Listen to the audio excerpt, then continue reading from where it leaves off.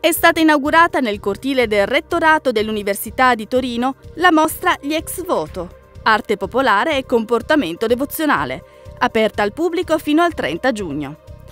L'esposizione promossa dal Consiglio regionale in collaborazione con il Centro Interuniversitario di Morfologia Francesco Moiso è stata allestita su roll-up ed è destinata a diventare itinerante tra i comuni del Piemonte. Dopo l'inaugurazione, al Circolo dei Lettori è stato presentato, alla presenza del vicepresidente del Consiglio regionale, il volume omonimo che accompagna la mostra.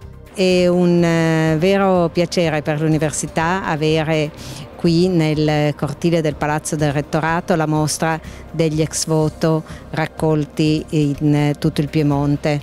Gli ex voto fanno parte della nostra storia e uno dei compiti dell'università è proprio quello di salvaguardare e diffondere la storia del territorio in cui è eh, sita e quindi questo è il senso di avere questa mostra nel nostro palazzo.